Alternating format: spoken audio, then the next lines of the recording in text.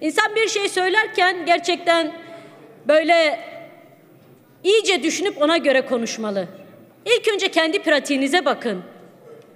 Çete dediğiniz, terör örgütü dediğinizde el pençe nasıl önünde durduğunuzu bütün Türkiye kamuoyu çok net biliyor.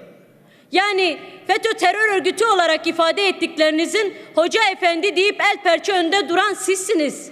Onları bu ülkenin darbe girişimine hazırlayan sizlersiniz. Bu ülkeyi kaosa, krize sürükleyen sizlersiniz. Bu ülkede milletin oylarıyla seçilmiş eş başkanlarını utanmadan, sıkılmadan, hukuksuz bir şekilde rehin alan sizlersiniz. Biz bunları 2009'da cemaat yaptı dediniz. Yarın öbür gün kimin üstüne atacaksınız?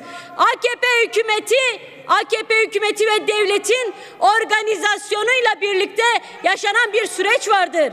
Burada eş başkanlarımız, milletvekillerimiz, belediye eş başkanlarımız onların hepsini şu anda rehin tutan, apar topar farklı cezaevlerine gönderen sizlersiniz. Bunların hesabını hepiniz bir gün bu halka vermek zorundasınız. Vereceksiniz de. Bizim hiçbir şeyden korkumuz yok.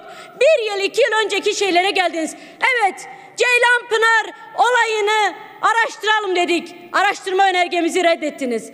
Neyi dediysek araştırmamızı reddettiniz. 6-7 Ekim olaylarını araştıralım dedik. Araştırma komisyonu kurulsun dedik. Reddettiniz. Çünkü hepsini siz yaptınız.